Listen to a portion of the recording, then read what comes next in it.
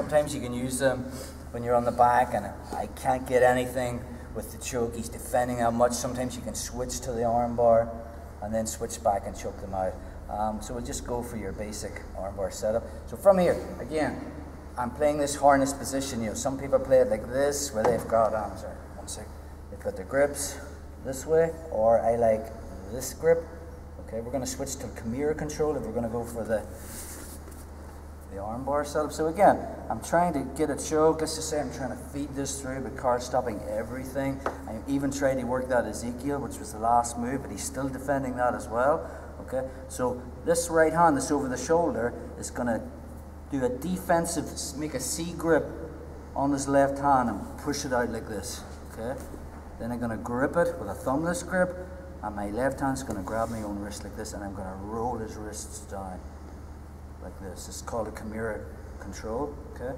And from here, I'm going to lift my arm over his head and make a frame and put my forearm in his left jugular, okay? I've got to make sure the separation, if I'm going for the armbar, between his head and his elbow, or vice versa.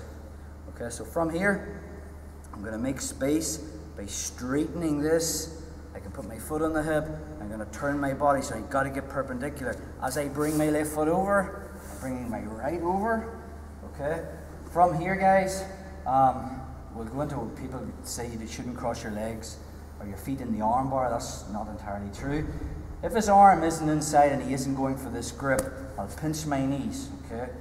I'll grab my hip, and this one's punching this through I get the armbar. So again, one more time. So I'm on the back. We're playing all the stuff that we did from the start. I've got upper and lower body alignment and attachment. Okay, I haven't been able to work the pressures yet because I haven't got on my side yet to be able to actually bend and back, which is what I want to do when I get this grip. But we're grip fighting from here, so I'm trying to get look for the rear naked or the double lapel collar choke. Can't get this, can't get the Ezekiel. I might switch for the armbar. So my right hand is just going to get a C grip, push it down, and then I switch to a thumbless grip. Okay, left hand's grabbing.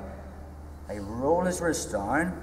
Okay, bring my arm over the head, and he makes a frame. Okay, with my forearm in his head. I've got to make sure that he cannot bring his head towards his elbow. Put my foot on the hip. I'm going to turn my body to get perpendicular. Watch my left foot comes all the way over to my right as I swing my leg over. Okay, planting my feet on the mat. If he hasn't got his grip yet, from here, I'm bringing this hand to my hip. I've got to make sure I keep his elbow tight in my chest, in my gut. If Carl gets his elbow below my groin, I haven't got the armbar. I've lost it. This hand's just punching all the way over. Squeeze my knee, pinching my knees. And I have it. One more time. From here, can't get anything. I C grip this, get a thumbless grip, bring it over, make a frame, cut back. Usually what I like to do is is just turn on your side I'm not really into the armbar, but sometimes when I church it, okay, and we do this move here, and I want to be ear to ear. Sometimes in transition of that, I don't be ear to ear. Either I've messed it up or Carl scooted his hips forward, and when I go to church I end up here. Okay, when I should have been here.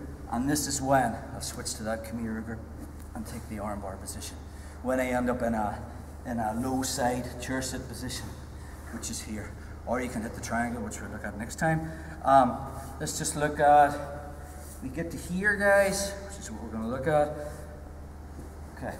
And in the transition of the armbar, Carl's clapped his hand. Again, there's different grips. We'll look at this next week as well. But let's just say he gets his grips.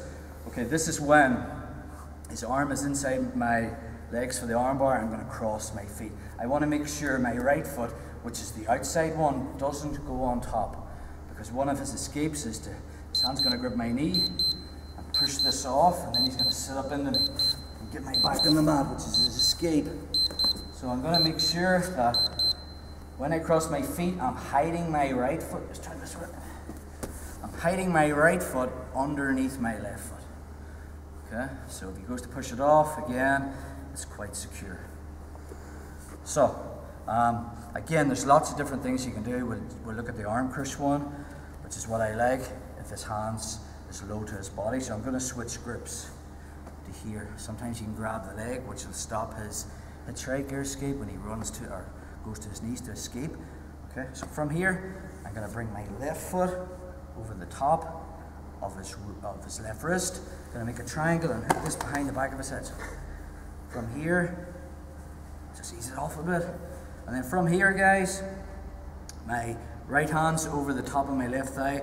I'm like karate chopping okay, to get the submission. If he lets go, I still have the armbar. Okay, so we'll do one more time, just from the start. So, from here, okay, make a C grip, which is a defensive grip to make space.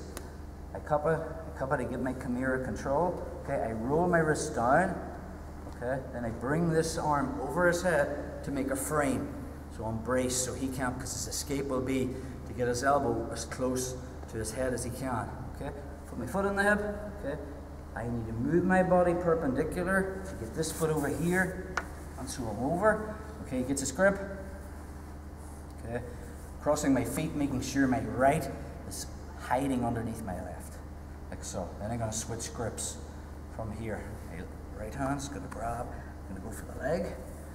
Okay, and if he's making frames and his frames are close to his body, then I'm going to lift my left foot over the top of his left wrist, make a triangle to get to here. Okay, and then my right hand is like karate chopping. Okay, my left thigh as I move my body clockwise. Okay, it's called an arm. Okay, so let's drill five on five.